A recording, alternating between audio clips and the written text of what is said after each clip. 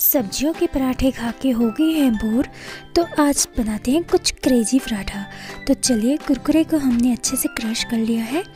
और अब इसको डाल लेते हैं प्लेट में। और यहाँ पे लेंगे एक आटे की गोली और इसको भी अच्छे से हम गोल कर लेंगे। तो मैंने यहाँ पे इसे अच्छे से गोल कर लिया है और इसमें ऊपर से डाल देंगे तेल। और जो कुरकुरा हमने क्रश किया था, उसको इसमें भर लेंगे। तो जैसे पराठा बनाते ही है ना, उसी तरीके से हम इसे भर लेंगे और अच्छे से इसे गोल कर लेंगे। तो देखिए, मैंने इसे अच्छे से गोल कर लिया है और तवे को अच्छे से मैंने गरम कर लिया है और अब पराठे को अच्छे से इसमें सेक लेंगे। तो देखिए, पराठा भी अच्छे से पक गया है और इसमें लगा लेते हैं थोड़ा सा ऑयल। तो तेल को मैंने अच्छे से लगा लिया है। तो रेडी है एकदम कुरकुरा पराठा। कैसी लगी आपको रेसिपी मुझे कमेंट में ज़रूर बताएँ। Thanks for watching.